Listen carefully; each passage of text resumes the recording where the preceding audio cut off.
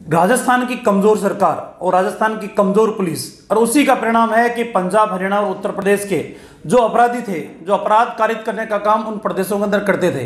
लेकिन आज उन तमाम प्रदेशों के जितने भी अपराधी थे, और सब अपराधियों की शरणस्थली राजस्थान बन चुका है।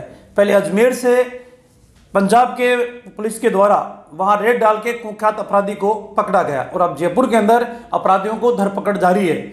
ये इस बात को साबित करता है कि राजस्थान की पुलिस चाहे जो वारदात जिसको करनी है वो करके चले जाए, उसके खिलाफ कोई कार्रवाई राजस्थान पुलिस नहीं करती। और इसी का परिणाम है कि आज राजस्थान के अंदर बेखौफ होकर अपराध बढ़ने लगे हैं। राजस्थान के लोग भी उन अपराधियों के संपर्क में आने लगे हैं, जो अन्य प्रदेशों के अंदर अपराध कारित करते हैं। आवश्यकता इस बात की है कि राजस्थान की पुलिस और राजस्थान की सरकार भी अपराधियों के खिलाफ कठोर कार्रवाई करे और एक नजीर ऐसी पेश करे जिससे अपराध करने से पहले चार बार वो सोचे। तब तक कठोरता के साथ आप काम नहीं करोगे, तब तक अपराध के ऊपर अंकुश नहीं लग सकता।